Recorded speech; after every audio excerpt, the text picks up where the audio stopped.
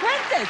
You did. You're bad. And you know what? You Now, still sleep with one leg off Now the wait. bed? Now now wait. Just a moment. Now. uh, You said that. Now you wa- you watched me on Truth ever since I was on Truth or Consequences. Yeah, and, and, uh, And what did you what did I say about my leg? you said you slept with the leg off the bed.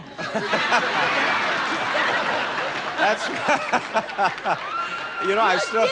I did. I probably You did. bet. I sleep with one foot out from under Well, the I cover. don't know, but that's what you said. Yeah. That's Uh, all. I, I sleep with one foot out from under the covers, and I, I always have, and I still am. Wow, that's what I. Well, Vanessa.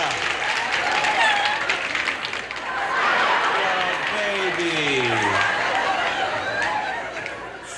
Yes, welcome to Life Can Be Beautiful.